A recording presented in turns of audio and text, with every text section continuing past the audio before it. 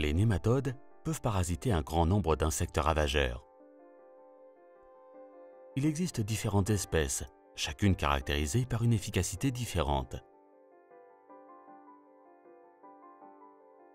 Le nématode Etorarptitis bacteriophora est utilisé entre autres pour contrôler l'othiorinque.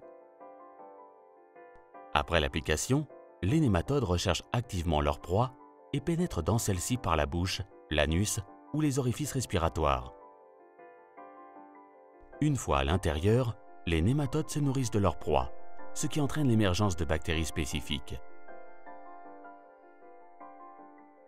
Ces bactéries se propagent à l'intérieur de l'insecte et transforment les tissus de l'hôte en produits qui peuvent facilement être assimilés par les nématodes. Les insectes meurent en quelques jours. Les insectes infectés deviennent jaune brunâtres et gluants ou se dessèchent.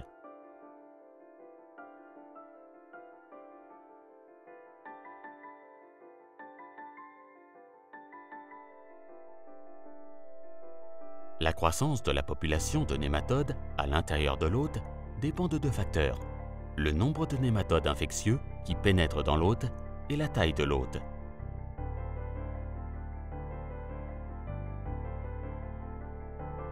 Les hermaphrodites peuvent pondre jusqu'à 200 œufs.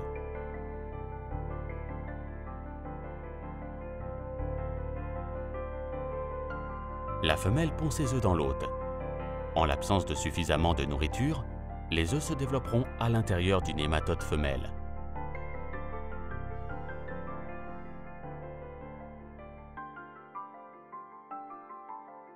Des œufs restés viables émergent des larves qui se développent rapidement.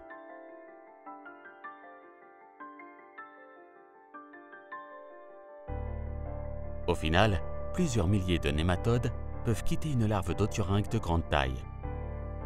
Ils partent directement à la recherche de nouvelles proies. Souhaitez-vous découvrir d'autres organismes utiles? Abonnez-vous à notre chaîne YouTube pour plus de vidéos.